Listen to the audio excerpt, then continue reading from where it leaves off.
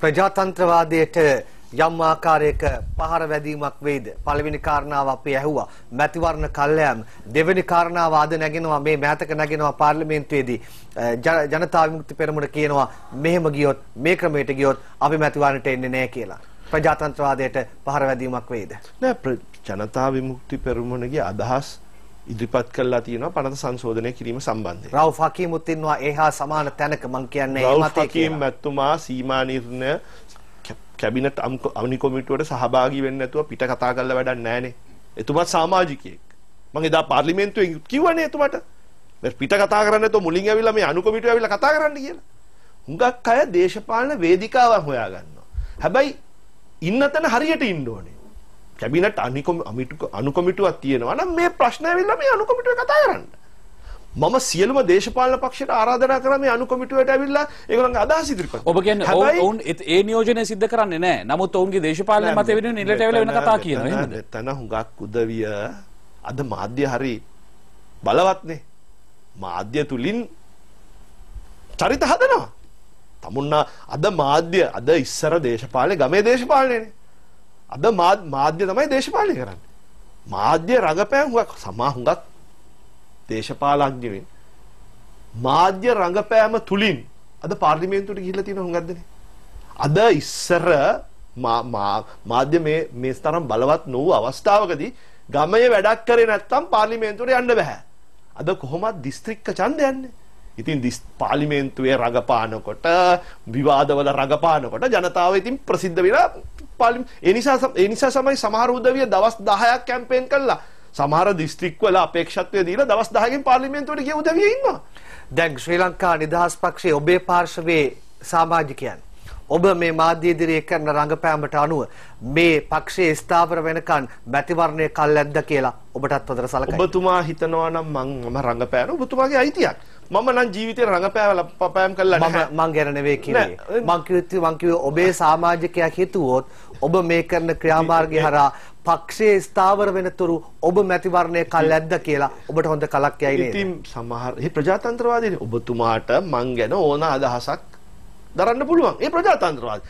සමහර පාක්ෂිකයෝ එහෙම හිතන්න පුළුවන්. සමහර පාක්ෂිකයෝ හිතන්න පුළුවන් මම ප්‍රජාතන්ත්‍රවාදය වෙනුවෙන් මම කැපවීම මම ප්‍රජාතන්ත්‍රවාදී ස්ථාවරය මම රටට ඉස්මතු කරනවා කියලා. ඒ අද නොයෙක් උදවිය ගැන නොයෙක් මත තියෙනවා. ඒ නිසා තමයි සමහර උදවිය සමහර අපේක්ෂකයන්ට ඡන්ද දෙන්නේ, සමහර අපේක්ෂකයන්ට ඡන්ද නොදෙන්නේ. එයා ජනාධිපතිවරණයේදීත් ලක්ෂ පහක පරතරය තිබ්බ මහින්ද රාජපක්ෂ ජනාධිපතිතුමාට ඡන්ද දුන්නා. මෛත්‍රීපාල සිරිසේන මැතිතුමාට ඡන්ද දුන්නා. මේ මෛත්‍රීපාල සිරිසේන මැතිතුමා ලක්ෂ පහකට වැඩිය වැඩිපුර ලැබුණා. ඒ තුලින් තමයි එතුමා ජනාධිපති වුණේ. ඒ නිසා ඔබතුමාගේ ප්‍රශ්නේ අද රටේ නොයෙක් මත තියෙනවා. මාධ්‍ය තුලින් තමුන්නාන්සලා මත හදනවා. ඒ නිසා අද මාධ්‍ය බලවත් ආයුධයක්. ඒ නිසා මාධ්‍ය ඇත්ත වෙන්න පුළුවන් බොරු වෙන්න පුළුවන්. හැබැයි මාධ්‍ය ආයුධ අද ජනමතය හදන එක ලොකු විශාල ආයුධයක් හැටියට පත් වෙලා තියෙනවා. හැබැයි ඩොනල්ඩ් ට්‍රම්ප් ඒක වෙනස් කරා. සියලුම මාධ්‍ය ආයතන එතුමාට විරුද්ධ වෙද්දී එතුමා ජනාධිපති වුණා. මං හිතන්නේ අද ලෝකේ නව ප්‍රවණතාවයන් උත් ගොඩ නගනවා. හොඳයි මාධ්‍ය බොරු මත හදනවා කියලත් මෙතන නෑ මම බොරු මත හදනවා කියලා කිව්වේ නෑ. නොයෙක් මත හදනවා. මාධ්‍ය බල සමාවෙන්න සුදුයි මම එහෙම කිව්වේ නෑ. මාධ්‍යයට ඕනෑම මතයක් ගොඩනැගීමේ ශක්තිය තියෙනවා කියලා. ඒ ඒ යථාර්ථය. හොඳයි. අපිට විරාමයකට අවස්ථාව දෙන්න විරාමයෙන් පසුව තවදුරටත් මේ සම්බන්ධයෙන් සාකච්ඡා කරන්නට ඒ වගේම පළාත් පාලන සහ පළාත් සභා ආයතන මේ මේ සියලු කාරණා සාකච්ඡා කරන්න බලාපොරොත්තු වෙනවා විරාමයෙන් පසුව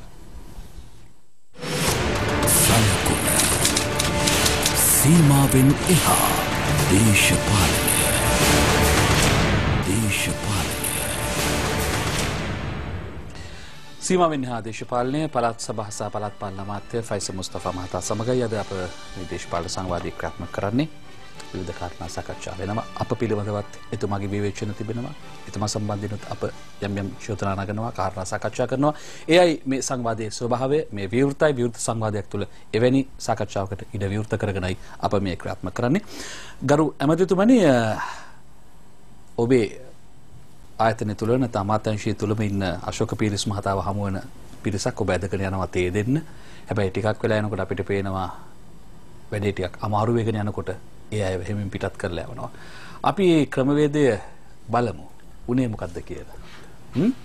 අපිට සූදානම් වෙන්න අවශ්‍යතාවය එන්නේ ඒකබද්ධ විපක්ෂයේ කණ්ඩායමක් කොයි ආකාරයෙන්ද අ, මුණ ගැහෙන්න යන්නේ ඔවුන්ට තේ දෙන්නට උත්සාහ කරන්නේ හැබැයි ටිකක් වෙලා යනකොට කරදරයක් වෙනවා වගේත් පේනවා වගේ කිසිම කරදරයක් නැහැ සුදේව. අපි අපි බලමු බලලම කතා බහ කරමු මේ සූදානම් මොකක්ද උනේ කියලා අපි බලමු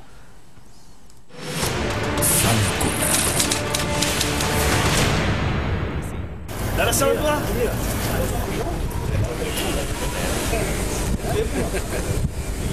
Yeah. Then I'll be out. I don't know. දෙක පිළ අපිට එතන තියෙනවා. නෑ මෙතන අපු එක දැන් මගේ අයි තරහද මාත් එක්ක. දන්න කියන්න තරහින් අද මගේ වරද්දක් නෙවෙයි.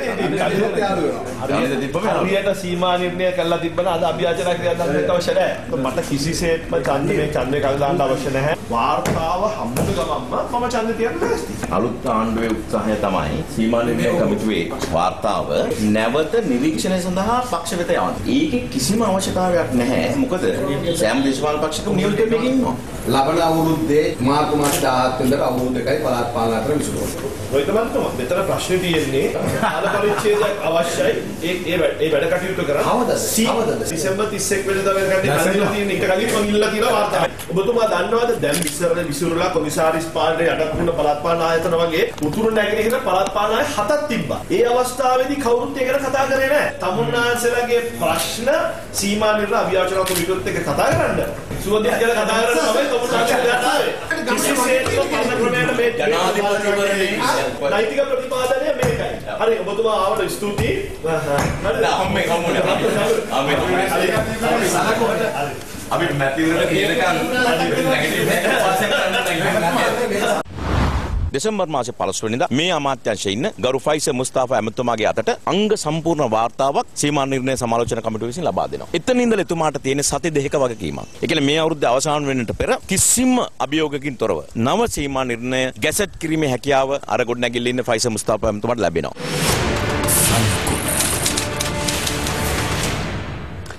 ඇමතුමා පරණ යාළුව හම්බුනාම හිතවත්කමට එක්කන් ගිහිල්ලා කරදරයක් වුණා වගේත් පෙවුණා නිකන් කිසිම කරදරයක් නැහැ. ඩැලස් මන්ත්‍රීතුමා මගේ හොඳ මිත්‍රයෙක්.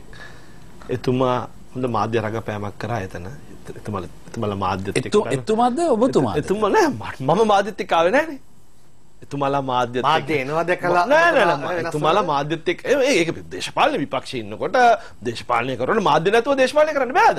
ඇවිල්ලා ඒ මාධ්‍ය දැක්කම මගේ- ඔබතුමා මගේ- ඊට වැඩිය මගේ දැක්කා. කාමරේට මාධ්‍ය මාධ්‍යවේදීන් ආවා. එතුමලත් එක්ක ආපු මාධ්‍යවේදීන් ආවේ. ඇවිල්ලා මගේ කතාවත් පෙන්නලා ඉතින් මම මරඟපෑමක් කරේ නෑ.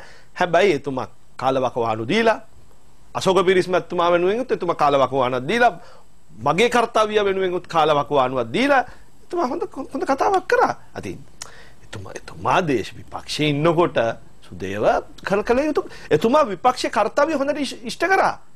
හැබැයි මට වාර්තාව ලැබුණා නම් මම සති දෙකක් ඉන්න ඊළඟ දවසේ මම කැසට් කරනවා. ඉතින් එතුමා එතුමාලා ආවේ මුලින්ම අශෝක පිරිස් මැතිතුමා හම්බ වෙලා ඒ වාර්තාව මගේ ලාච්චුවේද අශෝක පිරිස් මැතිතුමාගේ ලාච්චුවේද කියන හොයා බලන්න ආවේ. හැබැයි අපිට පෙවුනේ එතුමාලා හදාග හදන්න හදපු ස්ටේජ් එකේ ඔබතුමා ප්ලේ කරා වගේ. මම දන්නේ ප්ලේ කරපු එක මම දන්නේ මගේ වාසනාවෙන් නැති. මම නම් මාධ්‍යවේදීන් ගෙනාවේ නෑනේ. සුදේව මා- මාධ්‍යවේදීන් එතුමලත් එක්ක ආවේ. ඉතින් මට ප්ලේ කරන්න බෑනේ.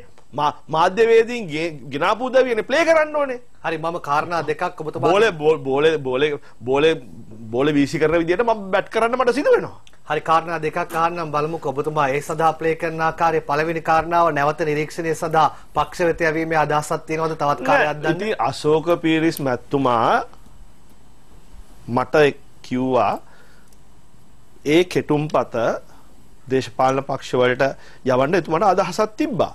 ඒ කියන්නේ තව ප්‍රජාතන් දැන් මෙතන මේ කෙටුම්පතේ නොඑක් මත තියෙන්න පුළුවන්නේ. දැන් දැන් ඩැලස් මැතිතුමත් එක්ක කතා කරලා ඒ ඒ ඒ- මතයට එතුමා වෙනස් මතයක ඉන්නවා නම් මම එතුමාගේ කර්ත- එතුමා කියනවා තමන්ගේ නියෝජිතයෝ මෙතන ඉන්නවා ආයිත් පක්ෂ වෙත යවන්න ඕනේ නැහැ කියලා පක්ෂයි නියෝජනය කරන්න කියලා. උත්තරයක්. මම උත්තර කිව්වා. දේශපාලන පක්ෂ පහයි නියෝජනය කරන්නේ. දේශපාලන පක්ෂ කියන්නේ මේ පක්ෂ නෙවෙයි. අද දේශපාලන පක්ෂ 50ක් තියෙන ඉන්නවා. හැබැයි අශෝක පීරිස් මැතිතුමාගේ මවුත් පීස් එක නෙවෙයි මම.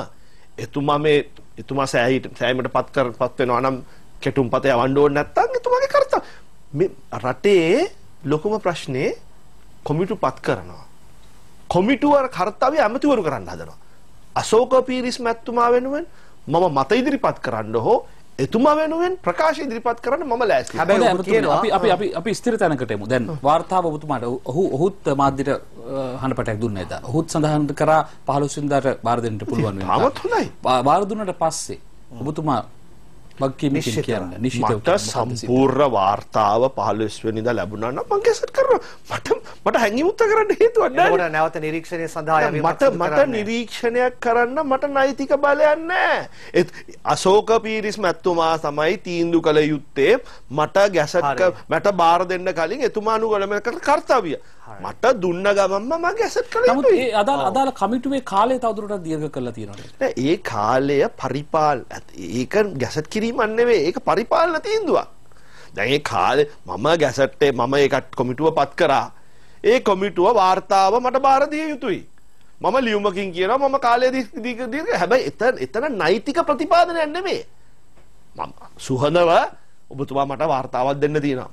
මාසයෙන් දෙන්න ඇවිල්ලා මට කියනවා මට තවත් මම මාසයක් ඕනේ කියලා මම තව මාසයක් දෙනවා. ඔව් දේශපාලනයනේ මේක.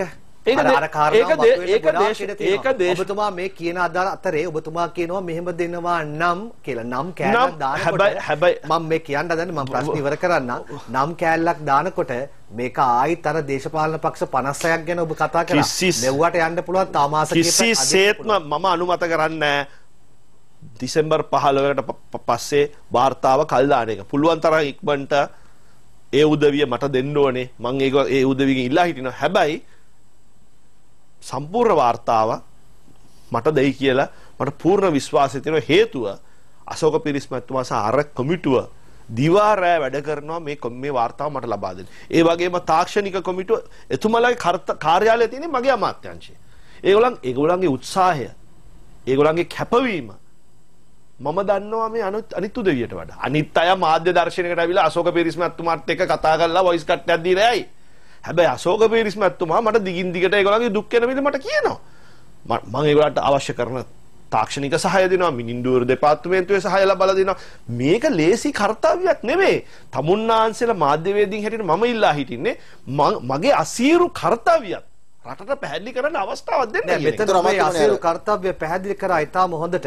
එක පැත්තකින් ඔබ කියනවා මේ සඳහා මේ අශෝක පීරිස් කමිටුවෙන් මේක දෙනවා නම් මම ලෑස්ති කියලා ඒ පැත්තට දැම්මා පොඩ්ඩක්. ඊළඟට අනිත් පැත්තෙන් ඔබ කතා කරනවා මේගොල්ලෝ දිවා රෑ වෙහෙසිලා වැඩ කරනවා කියලා. හරි ලස්සනට නෑ සම්බර මම කරනවා. මම- නෑ මම ප්‍රජාතන්ත්‍රවාදය අනුගමනය කරනවා. ඔබේ ඔබේ තාත්වික හැසිරීම රංගනයක් වගේ ඔබතුමා මම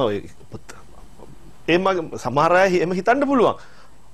සමහර අය හැමදාම ජීවි- ජී- ජීවිතේම ර- රඟපෑමක් කියලා සමහර අය කියනවනේ. ඒ කියන්නේ ඕ- ඒක මතයක්නේ. මම සද්භාවයෙන් මගේ කාර්යය කරන්නේ. කිසිසේත්ම පළාත් සභා පළාත් පාලන ඇමති හැටියට මගේ වගකීම රටට.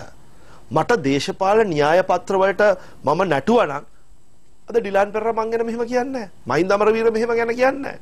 අනිකුත් පක්ෂ මට දොස් දොස් කියන්නේ නැහැ. හැබැයි මම අසම්පූර්ණ වාර්තාවකින් ඡන්දෙ තිබ්බනම් ජනතාව මට සාප කරයි.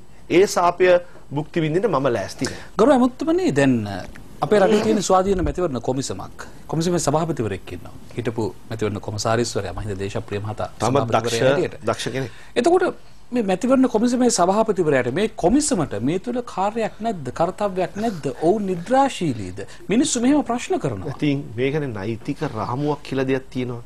පළාත් පාලන ඡන්දය සම්බන්ධයෙන් නෛතික ක්‍රියාදාමය සඳහන් වෙන්නේ 2012 අංක 22 දරන පනතේ. හොඳ වෙලාවට ඒක තිබුණේ නේද?